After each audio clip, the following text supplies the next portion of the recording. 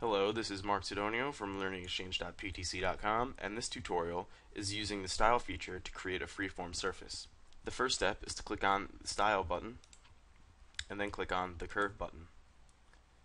Now we want to create a spout shape at the top of the cylinder. This shape will consist of four curves. Two of them are going to be curves on surfaces and the other two are going to be free curves. First we're going to create the curves on surfaces so we're just going to click on the create curves on surfaces button and we're going to put the first point at the edge of this surface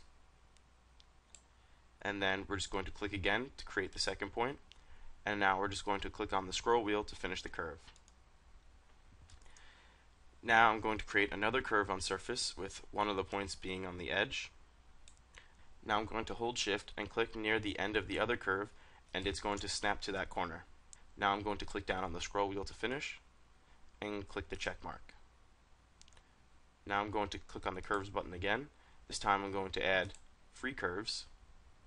So I'm going to again hold down on the shift key and click down on this datum point. Now I'm going to hold down on the shift key to snap onto the point from the previous curve. Now I'm going to do this one more time.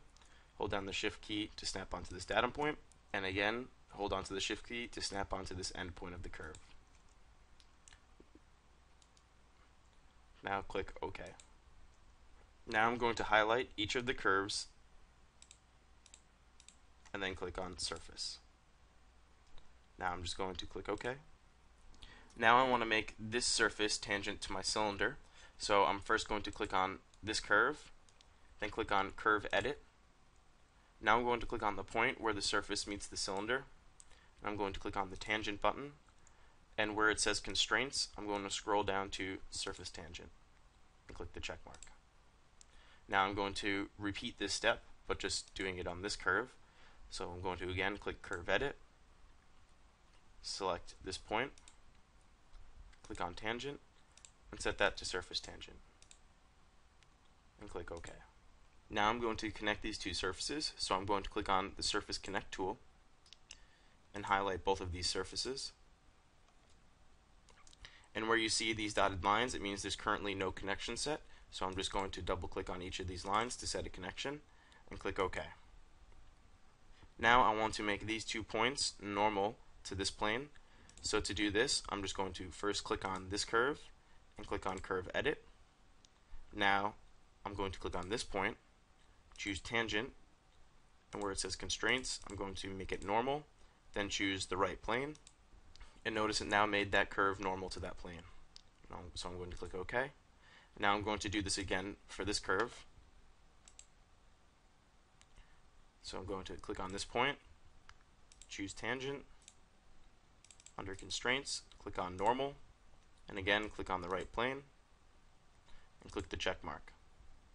Now my style is complete, so I'm just going to select OK.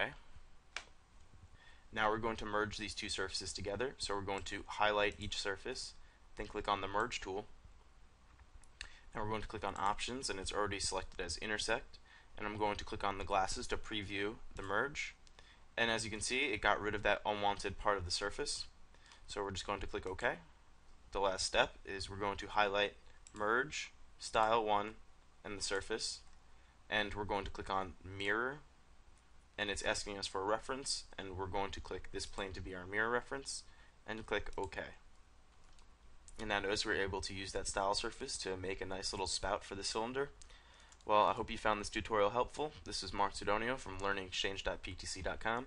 Feel free to check out more Creo parametric tips and tutorials at PTC University or at learningexchange.ptc.com.